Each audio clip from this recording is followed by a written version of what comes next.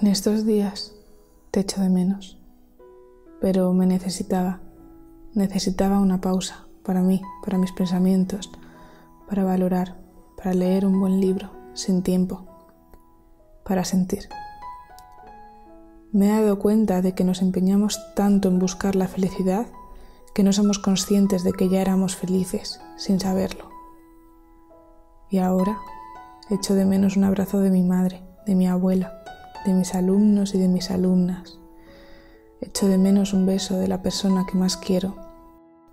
Los viajes en coche al instituto o a la universidad escuchando música y cantando como si se me fuera la vida en ello. Echo de menos tocar a los demás, tumbarme al sol, hacer planes contigo y con los demás. Echo de menos comer con mi familia, o llegar al polideportivo y abrazar a mis compañeros de voleibol los lunes y miércoles y a los de baloncesto los martes y los jueves. Me muero de ganas por salir a dar un paseo, por volver a sentir ese día feliz, llamar a aquellos que por la rutina veo poco y disculparme por desaparecer sin querer.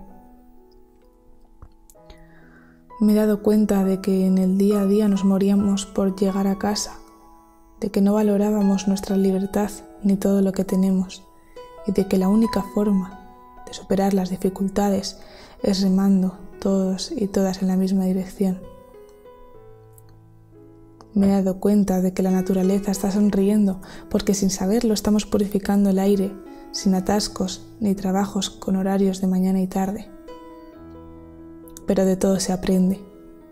Yo he aprendido a valorar la sanidad pública, que nos necesitamos unos a los otros, unidos para vivir y para sobrevivir. He aprendido que durmiendo más horas se sueña mucho más y que cuando todo esto acabe, no quiero echar de menos la empatía y la humanidad de estos días.